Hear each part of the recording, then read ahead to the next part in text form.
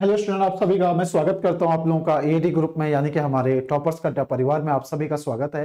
तो जैसे आप लोगों ने थंबनेल में देखा होगा कि FICCI life time achievement award से सम्मानित किया गया, किस व्यक्ति को किया गया, ठीक है, उनके बारे में हम जानेंगे। सबसे पहले जानते हैं फिक्की, ठीक है, ये फिक्की क्या है विद्यार्थियों?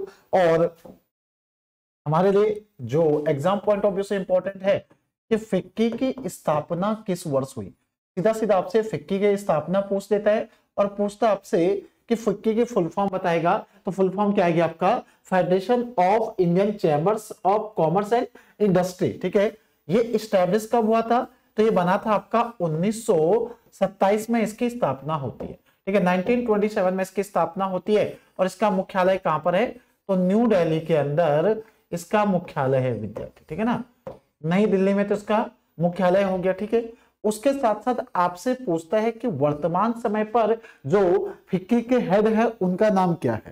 ठीक है? तो इनका नाम क्या आपका? शुभ्राकांत।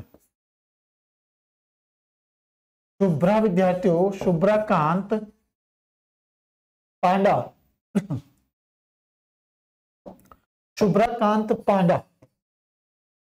शुभ्राकांत पांडा वर्तमान समय पर इसके क्या है? तो ये इसके अध्यक्ष हैं, यानी कि आपका चेयरपर्सन है कौन? सुब्रकांत पांडा। और इसकी स्थापना जो की थी विद्यार्थियों किसके द्वारा?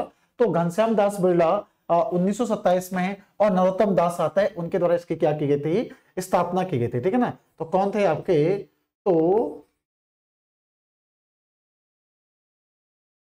घनश्याम दास बिरला, ठीक है ना? घनश्याम दास विद्यार्थी क्या थे आपके? बिरला। ठीक है? और कौन थे? नरोत्तम दास, जिन्होंने इसकी क्या करी थी? स्थापना करी थी। तो फिक्की से ये सवाल हमारे बनते किसका मुख्यालय कहाँ पर है? तो मुख्यालय आपका नई दिल्ली के अंदर है। ठीक है? वर्तमान समय पर इसके चेयरपर्सन कौन है? तो शुभ्रकांत पांडा इसके वर्तमान समय पर चेयरपर्सन है। अब जो यहाँ पर हम लोग पहुँचे थे जिसके लिए, वो चीज़ आप लोगों के लिए क्या इंपॉर्टेंट है, विद्यार्थियों? तो महत्वपूर्ण जो आपके सामने एक तस्वीर देखने को मिल रही है तो ये कौन है? ये है आपके राजेंद्र सिंह पवार, ठीक है? फिक्की के द्वारा जो लाइफ टाइम अचीवमेंट अवार्ड कौन सा अवार्ड आपका? तो फिक्की द्वारा, ठीक है ना? फिक्की द्वारा, विद्यार्थियों life time achievement award FICCI द्वारा क्या दिया गया अभी? Life time achievement achievement award से, ठीक है ना? कौन सा अवार्ड आपका? अवार्ड 2022 से। 2022 से क्या किया गया? आपका 2022 से सम्मानित किया गया, ठीक है ना? क्या किया गया विद्यार्थी आपका सम्मानित किया गया। जो सम्मानित किया गया, वो किसे किया गया? ठीक है, इस तरह से सवाल पूछा जाएगा। तो ये अवार्ड किसे दिया गया आपका? तो राजेंद्र सिंह पवार।